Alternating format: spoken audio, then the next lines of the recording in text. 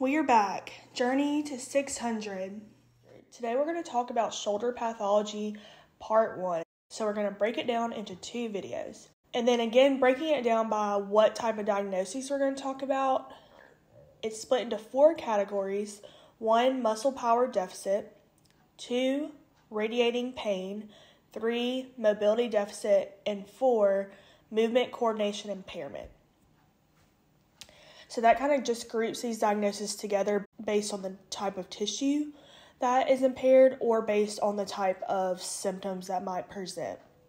So in part one, we'll go over muscle power deficit and radiating pain. But then again, looking at how we break it down, we have these gold, silver, and bronze topics.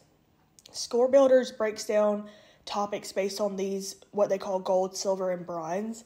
So gold is what is highly seen on boards, silver a little bit less than that, and bronze a little bit less than that.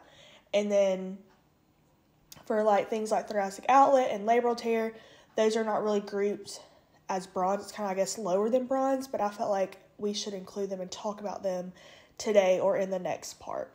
So what is a muscle power deficit? That is when you have a dysfunction with a contractile structure and it will lead to weakness and pathomechanics due to overuse or trauma. So, biceps, muscle, rotator cuff muscles like the supraspinatus, infraspinatus, teres minor, and the subscapularis. Starting off, biceps tendon. Biceps tendon pathology is microtrauma to the biceps tendon, which can begin as an acute inflammatory disorder, such as a tendonitis, but can lead to degenerative changes such as tendinosis. Or you could also have a rupture of the proximal biceps tendon, typically occurs at the long head of the biceps. This can also happen due to trauma such as falling on an outstretched hand. Presentation will be pain along the anterior shoulder bicipital groove area with potential referral to that elbow. It's going to be tender to palpate on the proximal biceps tendon. There's going to be weakness and pain with the biceps manual muscle testing, they the patient might report a pop with the injury, or you might see a Popeye deformity where the biceps has rolled up. There might be ecchymosis and swelling if there's a tear present. Special tests to determine if it was biceps tendon would be Speeds and Yergason's. For medical management, they would be getting an x ray to examine bony morphology arthritic changes and bone spurs, or they might take NSAIDs or get a cortisone injection. For surgery, if there is a rupture, they might have to do a tenodesis, which is re anchoring the tendon back, or do a bicep tenotomy, which is just to cut the tendon. Rotator cuff tendon mechanism of injury is falling on an outstretched hand, overhead throwing, associated with other injuries, or it could be a degenerative tear due to subacromial impingement. The presentation for rotator cuff tendon pathology is referred pain along the lateral deltoid arm, tender to palpate at the greater or lesser tubercle and bicipital grooves, so all those attachment sites of the different muscles of the rotator cuff, weakness in the muscles that are affected, and then the special tests are also broken down by muscle. So supraspinatus will be the drop arm and empty can test. Infras- Infraspinatus and teres minor would be the ER lag sign and horn blowers. The subscapularis would be the lift off and belly press.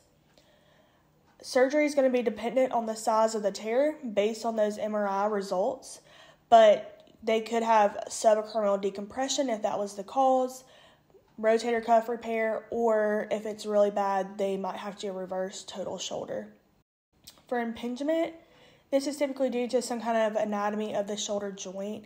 They present with pain at the anterior and lateral shoulder, or you could also have some posterior impingement, so the posterior side of the shoulder would be hurting. Weakness in the rotator cuff muscles and scapular muscles, altered scapulohumeral rhythm. The special tests you're looking at, though, are Hawkins Kennedy, Neer, and painful arc. Surgical intervention for impingement would be subacromial decompression. Next category is radiating pain. So thoracic outlet syndrome is fall falls under radiating pain, and basically that's just any kind of nerve related pain. So thoracic outlet syndrome is characterized by numbness and paresthesia of the arm and hand, coldness of the hand, or clumsiness with the use of the hand, arm numbness, and heaviness feeling. This is often due to bony or soft tissue anomalies, muscle spasm, or postural abnormalities.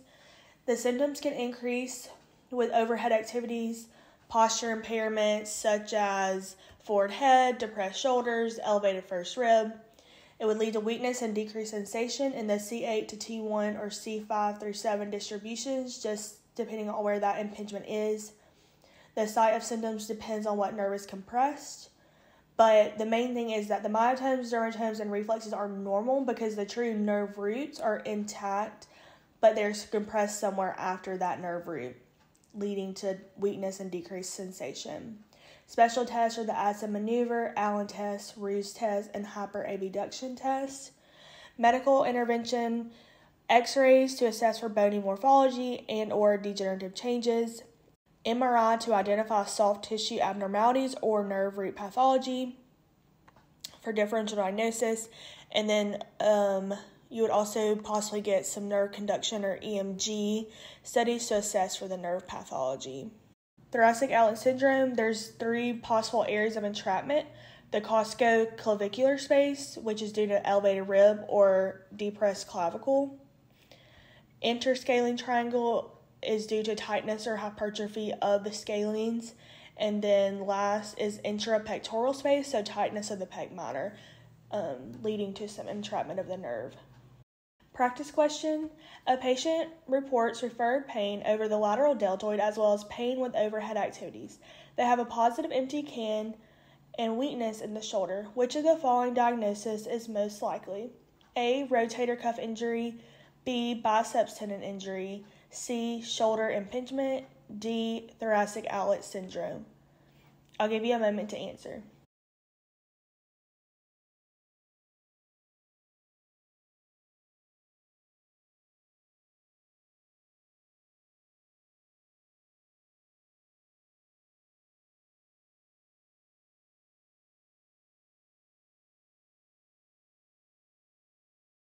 Please pause if you're not ready to review. So, this is a differential diagnosis question. We are told that a patient has pain over their lateral deltoid as well as pain with overhead activities. So, pain with over- overhead activities, that can be a lot of shoulder issues, but I think the thing that stands out the most is a positive empty can. Weakness in the shoulder kind of goes with any shoulder pathology because the muscles will kind of get weak over time but empty can is for a supraspinatus rotator cuff tear. So A is the best answer, but let's go through the rest. So biceps tendon injury, the pain is going to be more of an anterior shoulder near the bicipital groove. The special test would be Speeds and Yergason's. Shoulder impingement, they could have pain over their lateral shoulder. They would also have weakness. But empty can is not a shoulder impingement test. Shoulder impingement special tests are Hawkins Kennedy, Neer, and painful arc. And then lastly, thoracic outlet syndrome It's probably the least one that fits in this area just because the patient would report like numbness and tingling, and none of that is reported in this case scenario. But thinking about this type of question, um, you can kind of refer to this chart of differential diagnosis because the biggest things are where's the area of pain, and what are the special tests. You can, in addition, confirm those findings with are they tender to palpate anywhere? Do they have weakness anywhere? Or other clinical signs that are very unique to that injury. So, for like the biceps tendon, if it ruptured, they would have a Popeye deformity. That's very characteristic of a biceps tendon rupture. Um, they're going to have anterior pain, but the rotator cuff is going to be more lateral pain. Impingement can be pain in various parts of the shoulder, but they are also going to have some kind of altered scapulohumeral rhythm, the way the shoulder works together. Thoracic outlet is going to be the one that primarily has that numbness and tingling because of what type of injury it is. Um, but again, just kind of also picking out those special tests that kind of just those special tests are just a lot of words, but those are going to be very characteristic to indicate what type of diagnosis it is. Thanks so much for watching. Don't forget to like this video, subscribe to our channel, and turn on notifications. See you next time on your journey to 600.